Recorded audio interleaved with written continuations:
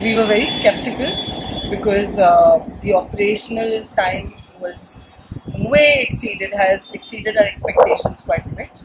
But how brands like Movie Max, Modern Bazaar, Dhaba, the way these brands have been performing, even when the mall is only 50% operational, we're super happy. And more than us, I keep hearing from around the vicinity that in this entire stretch of Noida Expressway, there wasn't a single multiplex, there wasn't a single specialty grocery store. And I have people come up to me and say, Thank you for bringing Gulshan 1 to 9.